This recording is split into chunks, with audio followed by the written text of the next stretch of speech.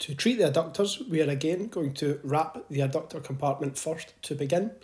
We can see here that we have the majority of the skin on show, but we must be conscious of the fact that the skin on the inside of the thigh is quite sensitive and for some people can be quite hairy also.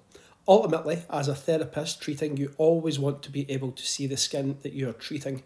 So first, I would always advise ensuring that there are no contraindications to the skin before wrapping and then if you wish to apply the tape over clothing such as very close fitting gym shorts then I would say after seeing the skin it would be more than safe to do so. Once the tape is in place we can then carry out a variant of functions such as flexion and extension of the knee here in a squat. We can go through abduction and adduction of the hip as well.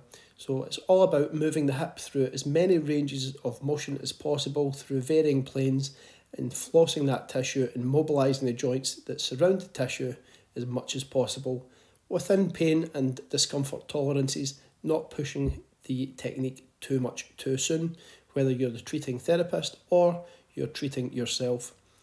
Two of my favourites for the hip itself are the 90-90 hip stretch, like so, where we have the hip at 90 degrees and the knee at 90 degrees.